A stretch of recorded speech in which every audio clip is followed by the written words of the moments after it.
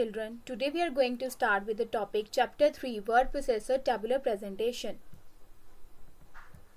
Now open your computer book at page number 26. Previously we have discussed the pages 24 and 25 where we have covered the topics introduction to table, creating a table using table grid, using table using insert table, using draw table, using quick tables and also we have discussed the topic converting text to a table.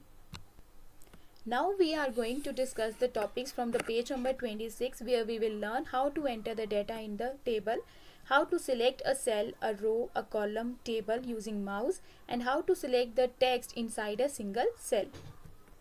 Before going to start the chapter, let's let's discuss few shortcut keys from the page 26.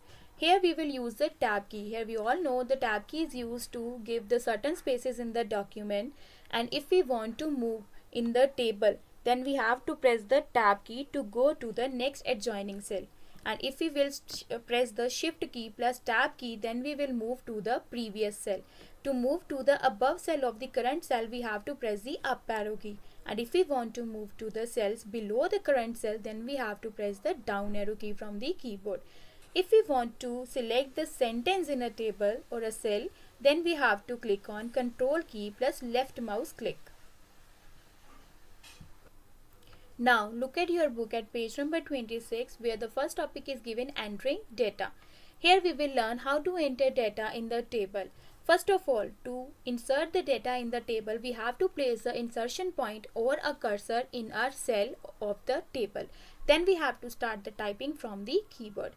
Next we are using the keys to move the to move into the cells of the table that we have discussed earlier. And it will show I will show you it now by the practical. Now first of all open MS Word, click on start button. From start sub menu, click on Microsoft Word 2010 after clicking on 2010 window, the window will appear on your screen. Now we have to insert a table. Click on insert tab. Click on table button. Move the pointer over the grid. You can see the table has been inserted.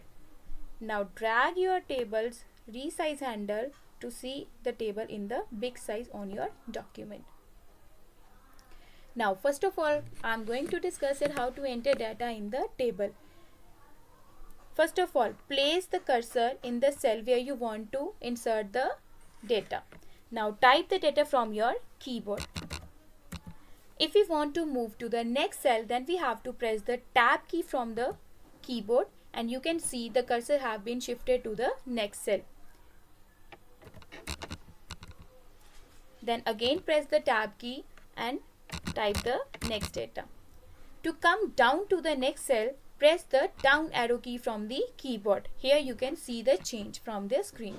If you want to shift to the left side of the cells, then you can press the shift plus tab key or you can also press the left arrow key from the keyboard.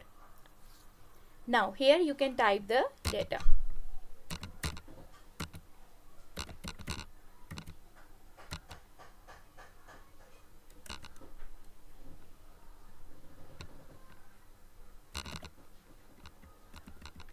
Using the left arrow keys, I have selected the left cells and again I am typing the next cell, next data in the cells.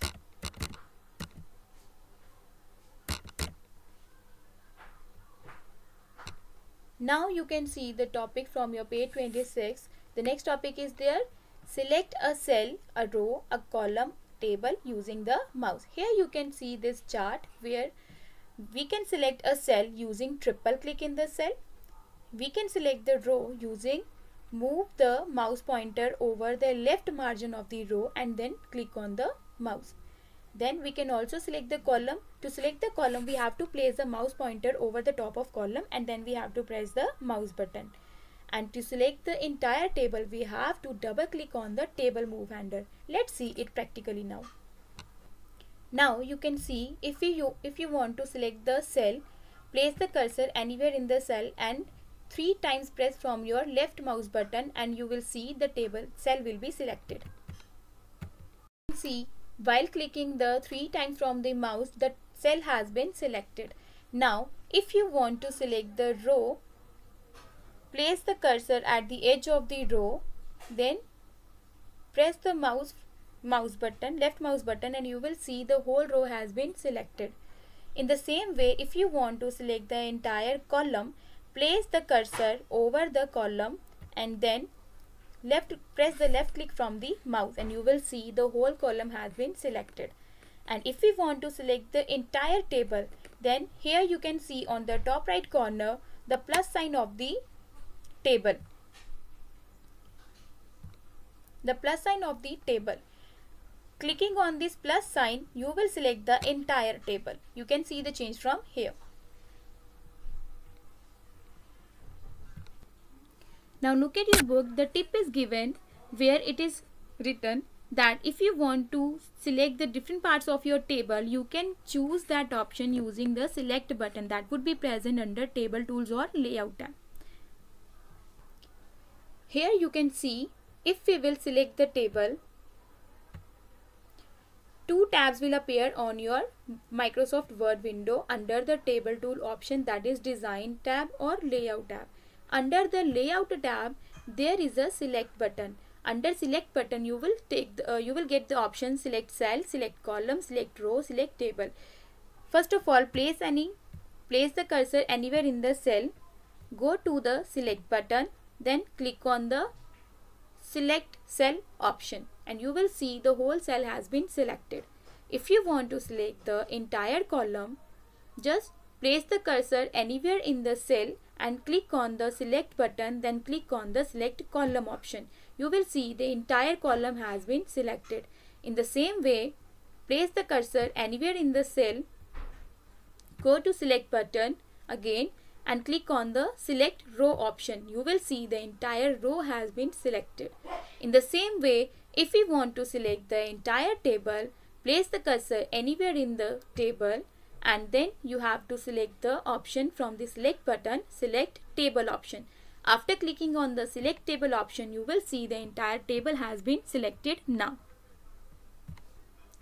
Now look at the second chart where the topic is given selecting the text inside a single cell. We can select the text inside the single cell using different mouse actions. If we want to select a word, we have to double click on the word. If we want to select the sentence, we have to hold down the control key and click anywhere in the sentence.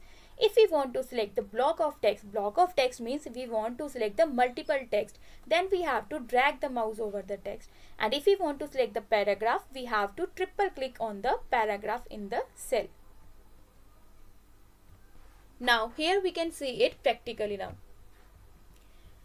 Here we will again insert a table using insert tab. Click on table button.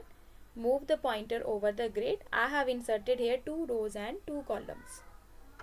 Now drag the table down to see it clearly. Now here I will type the line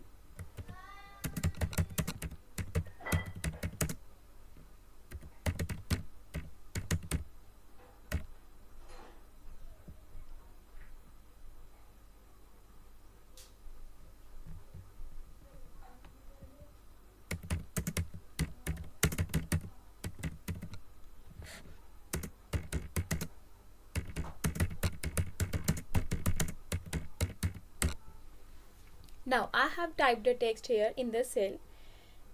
You can make the text bigger so that you can see it clearly.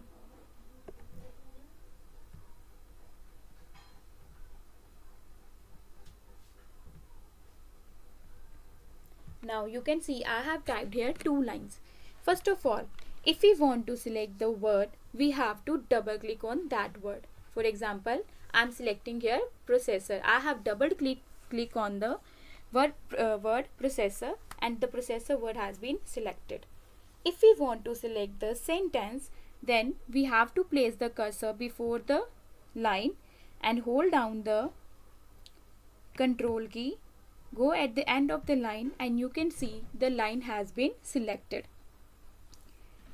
the next thing we have to select the block of text. Block of text means we have to select the multiple text in the document. If we have to select the all text or the multiple text we have to move the mouse over the text. Place the insertion point before the text. Now drag the mouse over text wherever you want to select the text as per your choice. The last thing we have to select the paragraph. First of all we have to make it in the paragraph.